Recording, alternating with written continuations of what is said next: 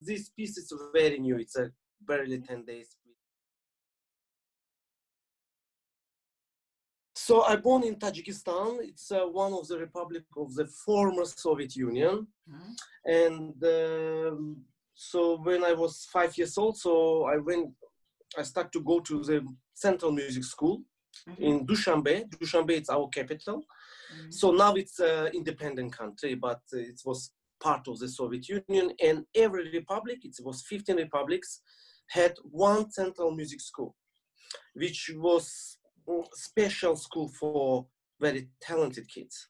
Mm. And there is some many other school, music school, but it's a little bit more for everyone else. So Mhm. this special school was specialized for uh, professional pianists, violinists, and so on, so on. So I've been studying there 11 years, and after I finished the school, Soviet Union is collapsed.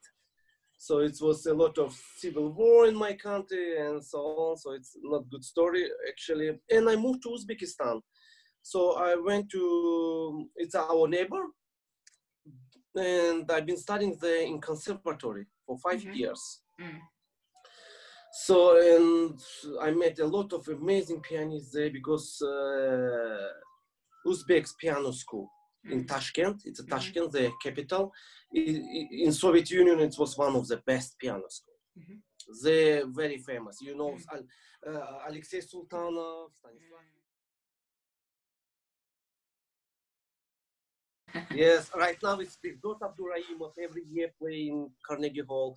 So they have some amazing, amazing Eldar Nebolsin, Ulugbek Palvanov. I can uh, talk more about those amazing, amazing pianists. They have amazing school. And uh, after I finished uh, conservatory, so I applied in Goth, uh, for Gothenburg. You know this uh, um, university. You know they call this university Mm. uh, so artist and uh, music school. Uh, it, it's called some. At this time, it's called artisten, and uh, I've been studying there two years. Um, in uh, and after that, I seek job. I found job. I work in uh, Svenska Ballet School. It's a Swedish ballet school. I accompany then a little bit um, there and there, and already start to teaching privately. Uh, my, my problem was when I uh, start to, uh, when I've been um, studying in Gothenburg, so I already got a little problem with my left hand. It started already there, it's some small, small, small. And more I practice, more I get the problems. And I try to recover, I try to visit several doctors, everything, everything, it's only get worse, worse, worse, worse, worse so I was a little depressed, uh, but uh, uh, unfortunately, I still I, I still have a problem. Uh, barely can practice one hour, and I get pain in my left hand. Be several. It could be Mm. genetic, or it could be uh, it's because I I, I- practice. Uh, in my younger time, I never practiced that much, two, three hours maybe, and then conservatory for five. And then I moved to Gothenburg. Suddenly I saw a lot of free rooms, which we never get in conservatory in Ru- Russia, Uzbekistan, or Tajikistan. Gothenburg, uh, I've been waiting for my visa like three Mhm. months in Moscow, and I couldn't practice at all. Mm. So when I came to Gothenburg, so I saw, oh, it's a lot of good instruments with free rooms. Mm. So I practiced nine hours.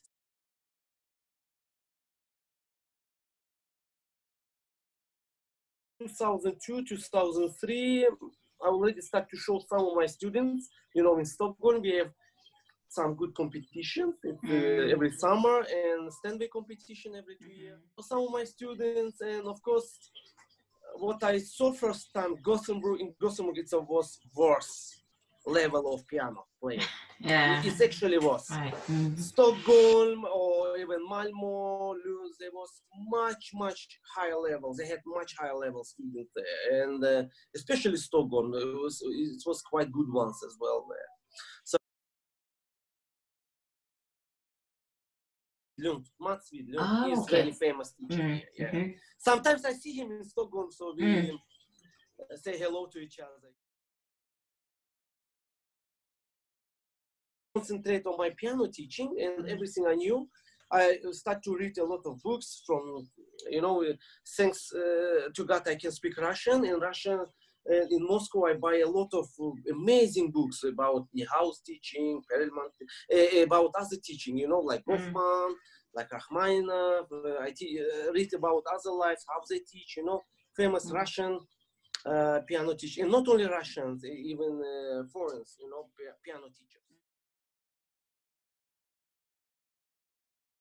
Stuff, uh, and then with mix of it, uh, Russian piano school and uh, some other knowledge, so I developed my own method, which I which suitable for Sweden. You have to understand it's a little different in Soviet Union or in Russian piano school. Mm. It's much harder there. It's much more disciplined. It's um, they talk about different problems there. Yeah. What we do here in Sweden, or in this case, in other part of Europe. Mm. Here, here you have to talk with this personally with the students. You have to engage students to practice because you cannot force them to do this, you know. So uh, uh, in, in, in, Russia, the children already know from the since they're five, six years old, so they want to be pianist or violinist or cello player. So they know they have goals and they practice. You don't have to usually push them that much. They already know what they have to do. It's uh, in, in those special schools. But here, it's usually, you know, students get one lessons in a week. So and they have other activities as well you know you know in sweden and which is very good which is very good and uh, with the time i start to think what to do to get something still some good quality you know mm-hmm. in the beginning i was shocked i thought oh i'm no, never gonna do anything because one lessons in a week and what i'm gonna do mm-hmm. then i start to learn a little bit more you know experimental this, this, this. And after 20 years, I have like over 30 international prizes with my students. So, mm. so it's over 30. It's, I stopped to count. It's 36 or 37. Mm. All of them, but some children have have ambitions, mm. and um, it's usually five percent of all my students. And uh, then you can do something, you know, with them, and uh, which is mm. very good. As a student, also I love to teach because they want to play just amazing piano for mm-hmm. their parents, for their relatives, for their school. You know, some of my students start to write their own songs, mm-hmm. and uh, you know, and uh, they're already not with me, but I know they're songwriters, you know, mm-hmm. or some other things, and. I, I am very proud of them, of course. Yes, uh, first thing uh, when I meet mm-hmm. My students, it's usually it could be from five, six, five, years old up to uh, what I have some students who 60 something years old. So, but usually it's kids. Uh, when I met them, so it's very important for me, parents as well, mm-hmm. in our first meetings because uh, parents play very big role to develop students. You know, it's mm-hmm. a could be girl or boy, it doesn't matter.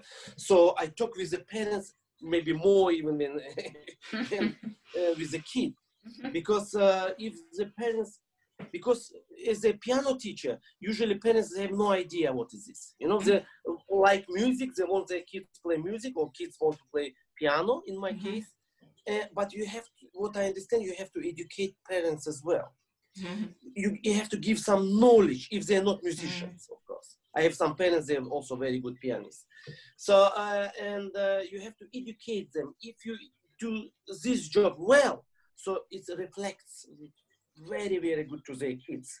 Because then I help them how to organize days because they have mm. other activities.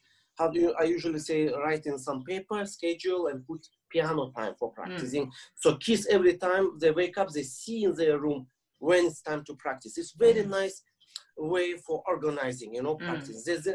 Then they never discuss, argue with the parents. They know this time they have to practice, for example one of the way I teach parents to do this ways because you know piano you have to practice every day, mm. every day, uh, and um, and sometimes of course not all kids follow those rules, but at least I'm telling them to do this. So and uh, after I talk with the parents, next things it's for me it's um, how you say to those kids has to be amazed of the music. I play something for them maybe they already can play some pieces. They or usually they dream to play some pieces like. Für Elise or maybe some film. Play this, this, this step by steps you're gonna reach this piece one day. So they have some goal or maybe other piece they dream to play. So i usually see how many years it's gonna take for them to reach the level of this piece so, and uh, one of the most important things after parents, I see parents understand what they have to do, it's engage kids, you know. So they inspire them to, for practice. So we listen quite a bit to music, not only when I play, we listen a little bit. So I have the system which I trans to my, so we listen different kind of music. And one of the biggest key, I think, in my teaching uh, because they have a concept. We have our class concept, which concert like yours, like any other concert this year. Uh, so it's unfortunately because this would be the best concert ever. Mhm. I, I I've been sad because some Mm. of my students from zero uh, supposed to play Ravel's La Valse. You understand? Mhm. So you, you understand how proud I am, you know. I, I'm not talking Rigoletto Liszt, you know, where the and uh, some other. Uh, I supposed to play with my 11 years son second and third part of second piano concerto of Chopin. Can you imagine 11 years old playing this?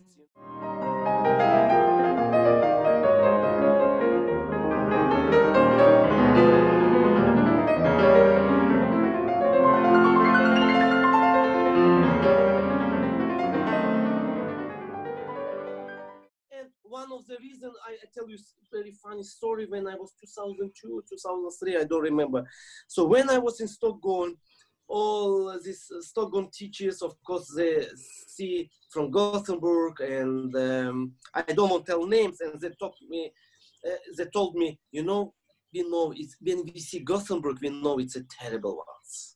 And I live, I love Gothenburg, I love this city, I, I love Stockholm as well, and Malmo, but I love Gothenburg. I just love to live here, and people and everything.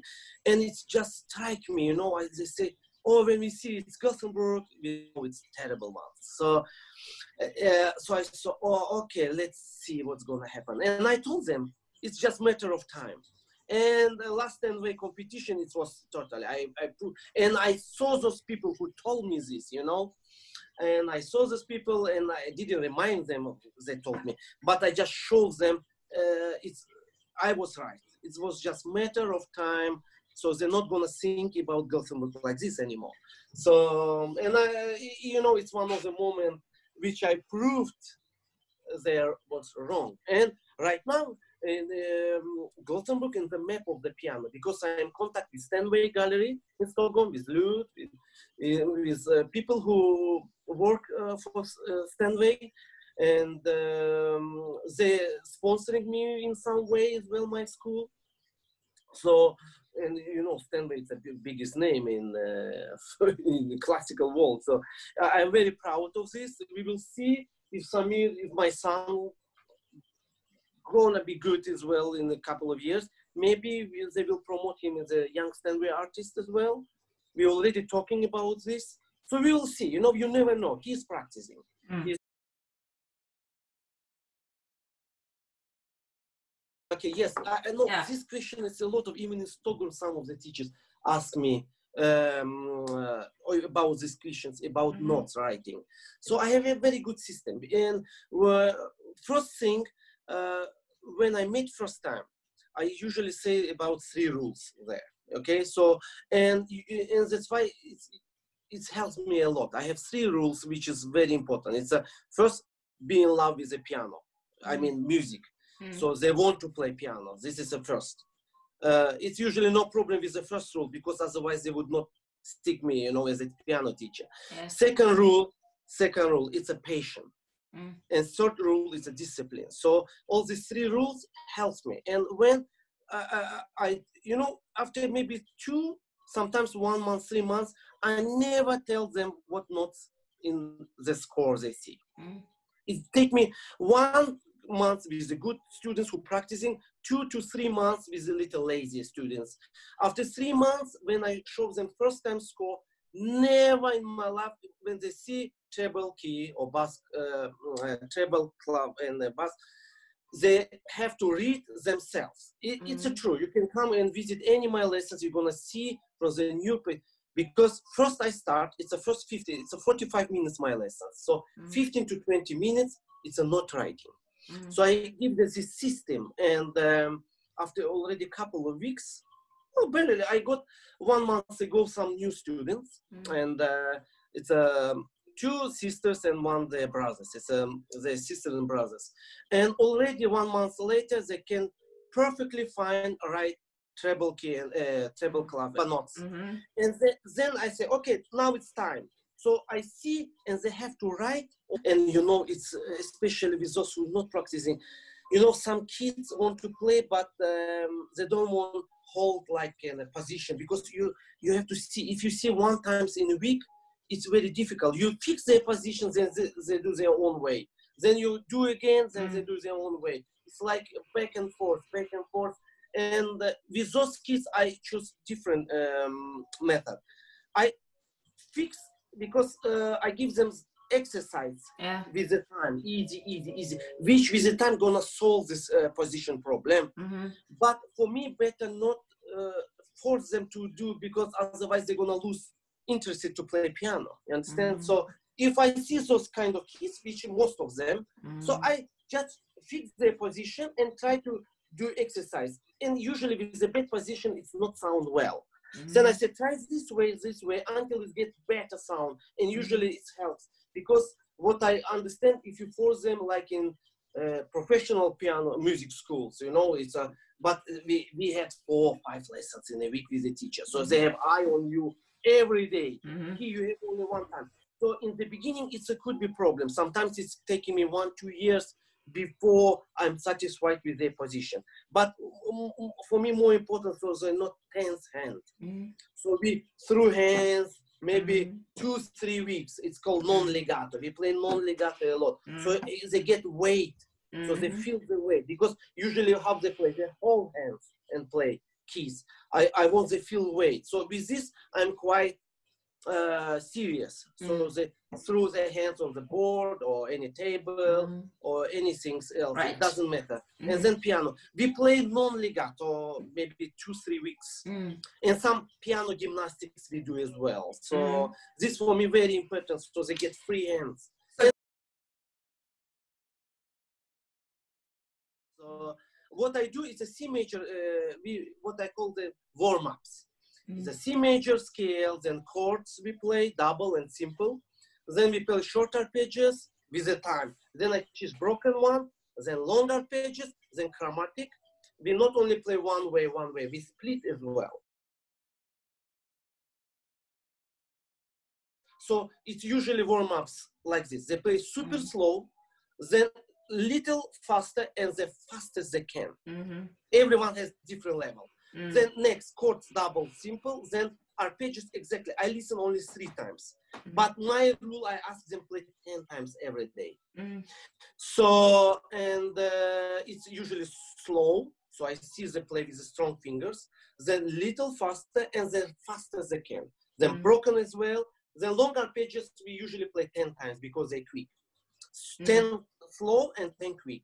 Some it's not a lot of kids want to put so many time to mm-hmm. practice mm-hmm. this way. Mm-hmm. So mm-hmm. you have to understand this is I'm not I'm not working in professional piano school, uh, music mm-hmm. school. Then it's different story. You just give mm. them what uh, what uh, says program, you know, each year. But here yeah. I have to see if they can handle Bach because mm-hmm. Bach it's in another problem is the Bach. If you do mistakes, you you just stop. You know, sure. this is a problem. So you have to practice properly with the Bach, with everything else as well. Mm. But Bach is more, more, more. You know, you have to be more picky with the Bach. Mm. And but uh, it's last year I call it a Bach year because I had so many students who played mm. Bach. Right. So and uh, and of course you see the progression of the Bach. Bach mm. it's a uh, it, it, like it's a kick in the butt. You can see just three, four steps as a forward, and it will be much easier for them practice with other composers. Mm-hmm. You know, mm-hmm. Bach it's a ground, and not only Bach. I, I also choose Handel, Scarlatti in Baroque music. Mhm. I love, you know. So um, and um, fortunately, I after 20 years of teaching, teaching, I have a rumor, good rumor, and I get uh, more and more very good students. I mean, children who ready for practicing, you know. So that's why uh, before it was one, two. Now I have some six, seven, maybe even Mhm. eight students who practice every day. They're very serious about Mhm. piano playing, which is of course make me happy because you can Mhm. work with them a little different way, a little bit more professional way, and you get feedback, of course, with the Mm. same. Uh, and uh, and this Roberta, for example, she's only nine years old and plays this Moszkowski style, which is very very difficult. And I told her it's gonna take one year before it's ready, and she's ready. And she also played Bach. This Roberta, actually, I have Mhm. uh, one, two, three students who has two uh, lessons in a week. Right. And Roberta, one of them. So Mhm. she had one lesson, and after her mother also very good pianist from Mhm. Italy. Right. She's doctor, but she was a professional pianist in the beginning. Okay. So nice. it helps. Of course, it helps when she's home. Mhm. It helps tremendously. And uh, but I have only three three students who take two lessons in a week, but out of 35 students. So you understand, Mm. most of them only have one one uh, lesson in a week.